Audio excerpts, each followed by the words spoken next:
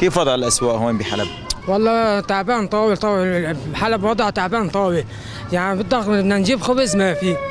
بدنا نجيب خضرة ما في. شيء بالنار. يعني ما في ما في شيء طاول المازوت غالي بنزين ما في. يعني إيش ضال لك؟ ما في وضع بحلب طاول ميت 90% يعني حرام والله حرام هالشيء اللي عم يصير ما في لا في خضرة. العالم كلها مسكرة. ما في لا خضرة ولا في خبز ولا في شيء جاي من المرجع لهون مشان نشتري خبز ما في خبز. والله اوضاع السوق زفت. لا في رز ولا في خضرة لا في شيء ابدا. غير حشايش ما في. لا في بطاطاي لا في كوساي لا في بلدوراي كل شيء ما في. السوق فاضي. هي شوف قدام عينك. من اول لآخره كله فاضي. ما في غير حشايش. هذا عم وصلنا بس. يا اوضاع السوق كلها غلا بغلا كيلو الباذنجان 350 بايت الفجل ب 100 شيء أسعار خيالية.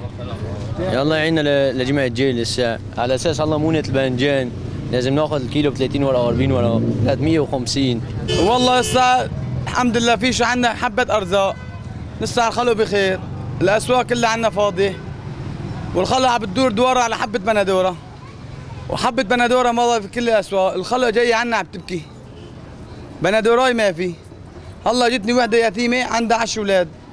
حق أكل ما عندها. هل الله قدرنا عليه؟ أعطيناها إياه. الله كرمنا.